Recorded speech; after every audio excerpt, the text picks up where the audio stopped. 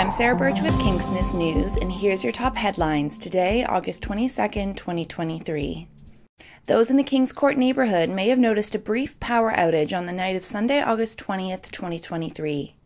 At approximately 11:40 p.m. on Sunday, a vehicle driving on 3rd Avenue collided with a utility pole.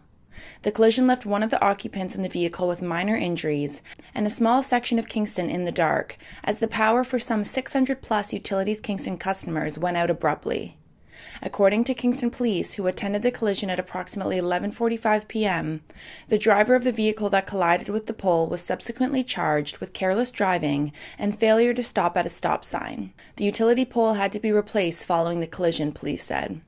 On the evening of Sunday, August 20th, 2023, Kingston Police, along with those from CSC, attended the parking lot of the shopping plaza on the south side of the intersection at Bath and Gardiners Road, known as the Gardiners Town Center. There, two individuals had been caught attempting to fly a drone with contraband onto the property of Collins Bay Institution, Constable Anthony Colangeli said in response to Kingstonist's inquiries.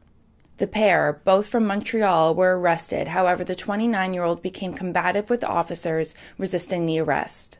Police deployed a conducted energy weapon to complete the arrest.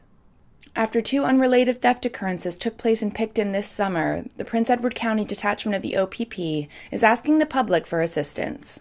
The first incident took place sometime overnight on Tuesday, July 18, 2023.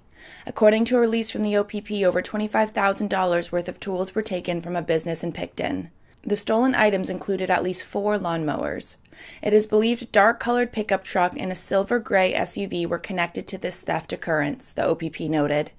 The second theft took place more than a month later, overnight on Sunday, August 3, 2023.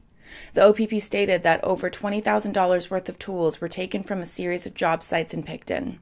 Anyone with information is asked to contact the OPP at 1 888 310 1122 or Crime Stoppers Quinte at 1 800 222 8477.